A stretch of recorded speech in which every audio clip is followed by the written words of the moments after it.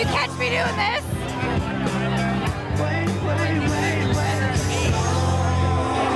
That's what I'm doing. I don't want a camel toe. but these shorts from Walgreens. It's all right. I'm used to things being in my head.